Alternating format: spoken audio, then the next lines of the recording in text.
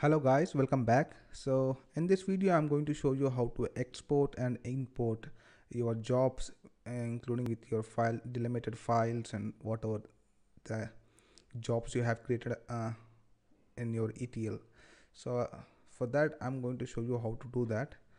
So i'll just uh, um, so this is a simple job i have uh, which is csv to database table and I have two uh, two file delimited files.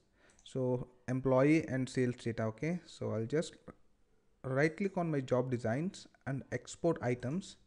So in the export items you can see by default the CSV database table has been selected and we have two different two file delimiteds okay? Just select on this file delimiteds and I don't have anything else here okay? I have nothing in this so I'll just click on finish. So he it is actually asking you to which location you just wanted to save. So in the documents I'll create ETL export. Okay so where is the ETL export? It's here. Okay. So I'll just save select this folder and finish. Now it's saved successfully. So I'll just go to my documents. So in the etl exports you can see uh, the job uh, the project name Intact Abode has been saved. So this will have the metadata file delimited files and its uh, dependencies and whatever the stuff which are related to the project. And which is which is also having a job. One is screenshot one is property and item. Now how to import the same job to your Talend ETL. So now this is a tricky part here. So what I'll do is uh, I'll just close this one um, and I'll click on my right click on my jobs and import items. So I'll just browse where is my job. So browse. So desktop. Sorry, it's in document. Sorry, documents. So ETL exports. So I'll select the project. Select. So here you can see uh, I don't see any file delimited or any job which I have exported. And you can see errors and warnings here. So it says file delimited employee this item already exists in your uh, in the project so that hasn't been added. So it is also saying that check the recycling bin empty if it is needed.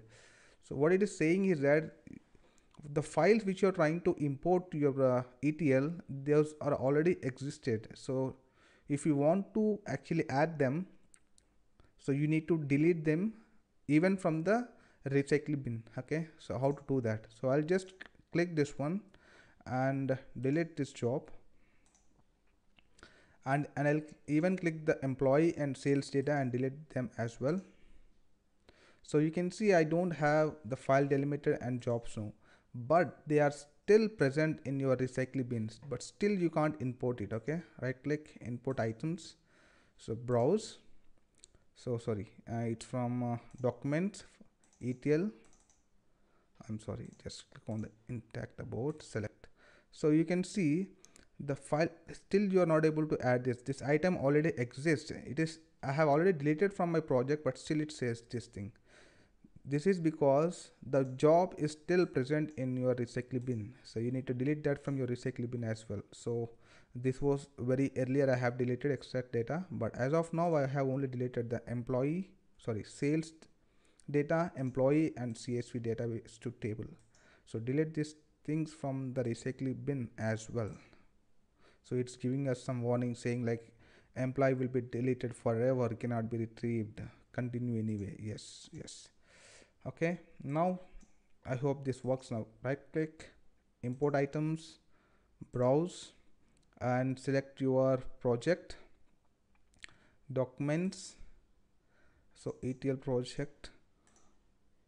Now you can see there are items now like the project whichever you have which we have deleted just now and the file file delimiter the jobs and the file delimiters. Click finish so there we are. So we have our jobs back and the file delimiters back. So that's it guys. So this is how actually you can export and import jobs in Talend etl so the important thing is you make sure you, you have removed those files from the recycle bin as well. So that's it guys. Thank you for watching.